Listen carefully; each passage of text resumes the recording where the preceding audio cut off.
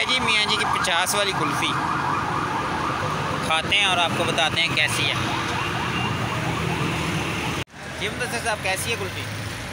ज़बरदस्त। Excellent test आप भी ज़रूर ट्राई करें। ये मेन मरी रोड पे है और अफजल इलेक्ट्रॉनिक्स के साथ है ये अभी नई शॉप बनी है। तीस पचास और साठ रुपये में एक अच्छी कुल्फ़ी का टेस्ट ज़रूर आजमाएँ इनके पास आइसक्रीम है, रस मलाई है स्पेशल रबड़ी दूध है, बादामों वाला दूध है, खीर है। ये सारे